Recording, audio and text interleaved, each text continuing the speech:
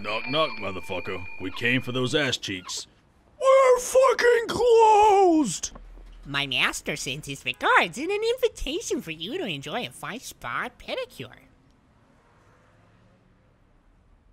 Well? Do you see just how fucking large these fucking feet are?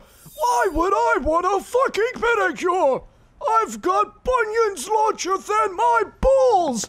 What the fuck makes you think I will come and enjoy a spa and pedicure? There will be a buffet. Hmm, it would be good to try some new foods.